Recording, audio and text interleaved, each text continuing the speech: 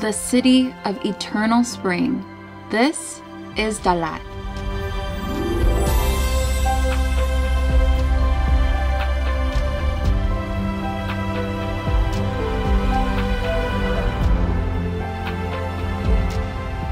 In the highlands of southern Vietnam lies this unique city and region. We traded rice paddies for tea leaf terraces, beef pho for beef stew, and tropical weather for a cool, temperate climate. Before the break of dawn, we were out the door, bracing against the cold air on our motorbike, and witnessed one of the best sunrise experiences of our lives.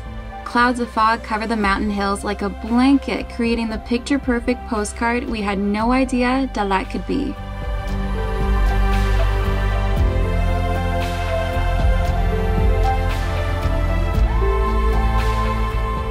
Couldn't help but take the motorbike back out for a second day to tour all around the peaceful Tuyen Lam Lake, which is not even a 15 minute drive from Dalat city center. It was the first time ever where we just let the road take us to where it leads with no need to rush to a destination. Quiet lakesides to French historical landmarks, we felt like we entered a never ending Monet painting and the laid back atmosphere in which we quietly sipped our teas and Vietnamese coffees truly gave us permission to relax and see where Dalat took us. We start our journey with an early 4 a.m. wake up to reach the Cau Dat tea village before sunrise.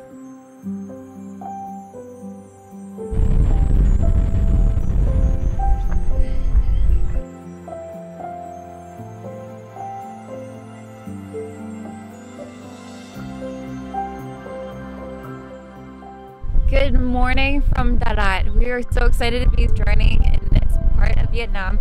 We actually rented a scooter from our hotel at 4.30 in the morning. We were driving in the dark and in the fog, which is a little bit sketchy and actually really cold. We did not expect it being the southern part here, but we finally made it out to Cau Dat Tea Village and it was absolutely mind-blowing. We made it here when the colors were popping before the sun was rising. Those clouds rolling on the hills was beyond what we expected.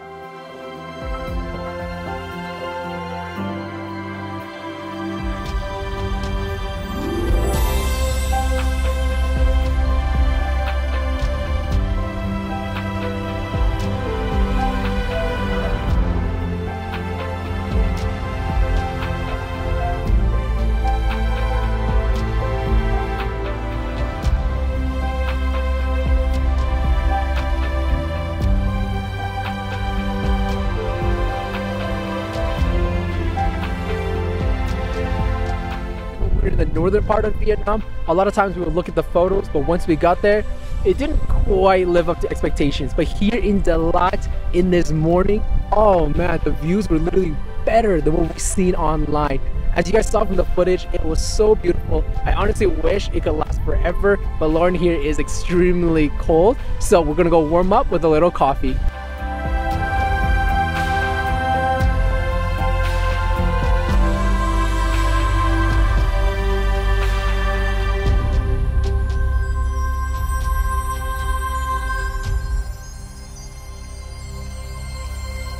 The owner of the cafe actually brought us a teapot for us to warm up before the coffees. And I think this tea is one of my favorites.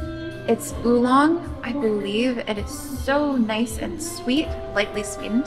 And I gotta say, I wonder if these are the tea leaves that they're growing out there.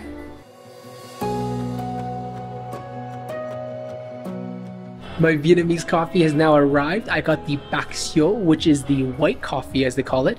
So you have some condensed milk, a little bit of regular milk, along with your Vietnamese coffee. And wow, there's always something so fragrant and bold about the coffee that I'm absolutely addicted to. Of course, we still have the beautiful view of the town along with the tea leaf terraces.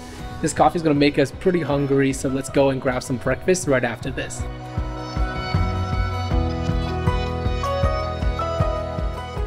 So we found this really local noodle shop called Pho 68. We are definitely the only foreigners in here. And right up there on the sheet of paper are six different menu items. We can't read it at all and we have no idea what the prices are, but we did manage to order something. Yeah, the thing is, when we punched them into Google Translate, they came up as beef noodle soup. Like almost all of them did. So we decided to go for something that looks a little bit different when we looked it up on Google Images. And it looks so good. It's got this like carrot red broth. The noodles look delicious. And there's a lot of beef tendon in here, which Jason absolutely loves.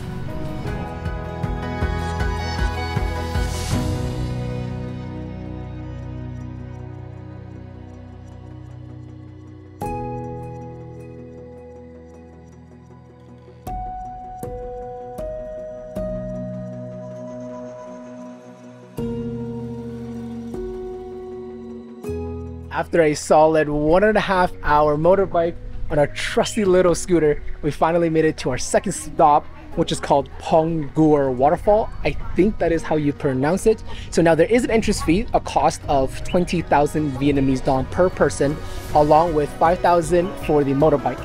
So right now we're at the motorbike parking area, and then we just walk down there to see the waterfalls.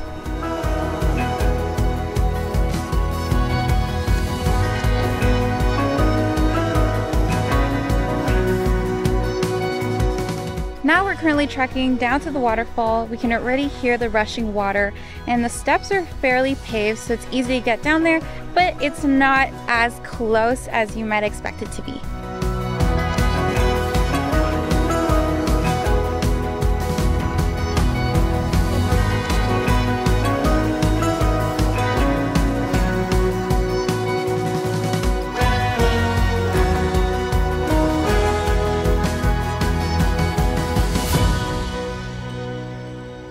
After trekking down some stairs, we finally made it to Pongour Falls. It's honestly so beautiful, but it almost looks fake because the cascading waterfalls through the different rock levels, it almost looks too perfect. That's how amazing it looks here. We're gonna go explore around a little bit and hopefully catch some different views from different vantage points.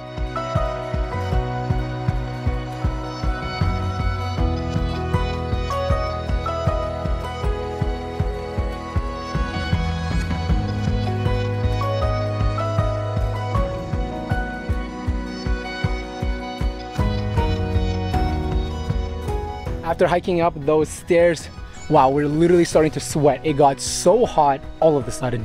Yeah, you know what's kind of frustrating is the fact that we are not dressed for either of the times that we were out today.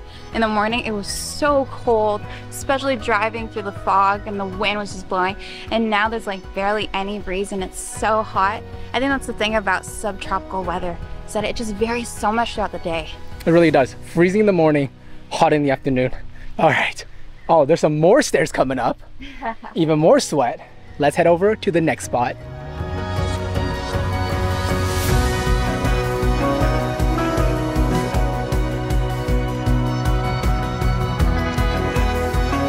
The next stop on our little self-guided motorcycle tour through Dalat is Elephant Falls. It's actually really cool. It's about 30,000 VND per person.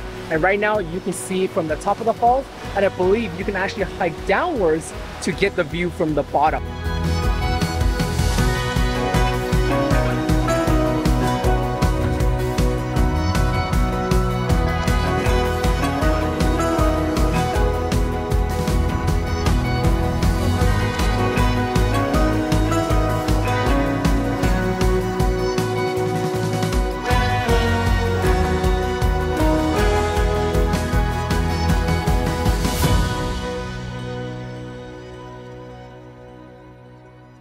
It's our second day of exploring Dalat and we started on the north side of Tuyen Lam Lake. It's actually so peaceful here. The water is so calm and you can actually see there are two different wedding couples getting photos done. There's one doing their photo sesh on that rustic boat over there. It's so adorable.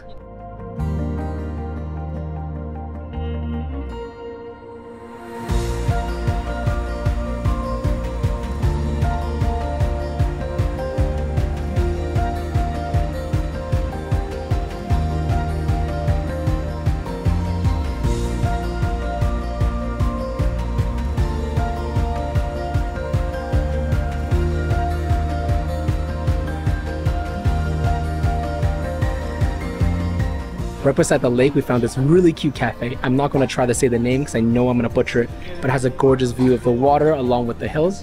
We got some Vietnamese iced coffees, our favorite. And one thing we noticed, just like yesterday, they always serve tea along with whatever you order.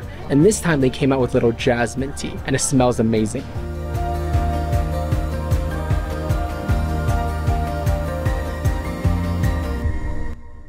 So for breakfast, we found this little bun bo shop, and it's honestly one of my favorite breakfast items next to beef pho. And it's so affordable at only 30,000 dong per bowl. For us, we love just finding these more local, hole-in-the-wall shops because the food just tastes amazing. There's so much meat in here, which I did not expect for only 30k. This is by far the cheapest noodle soup that we've ever had. Mmm. The noodles are so bouncy. The broth is so good. I can definitely understand why this is my dad's favorite Vietnamese soup. And if you wanted to add some flavor, although I think it's already perfect, you can add some right here with these condiments, some chilies as well, just to add a little bit of spice, but it's so rich already.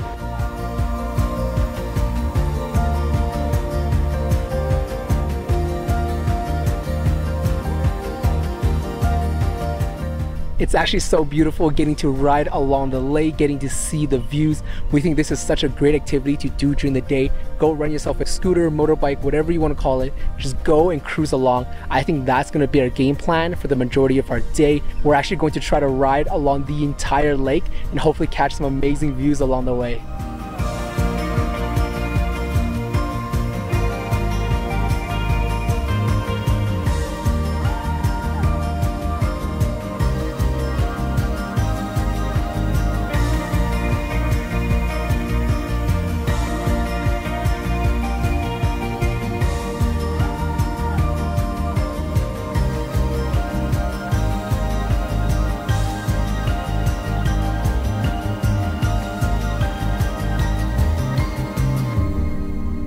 We traded nature for history and we are at the Dalat train station. It was built in 1938 and it's a piece of French architecture that still maintains to this day.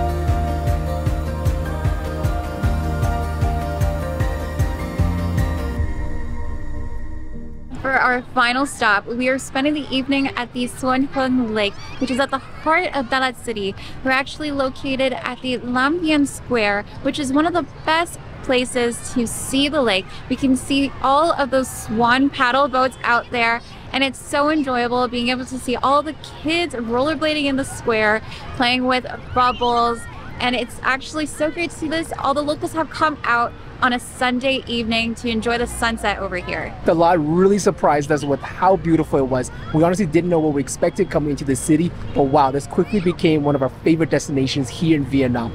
But our ventures in this country are not finished yet. Join us next time as we head over to the island of Phu Quoc.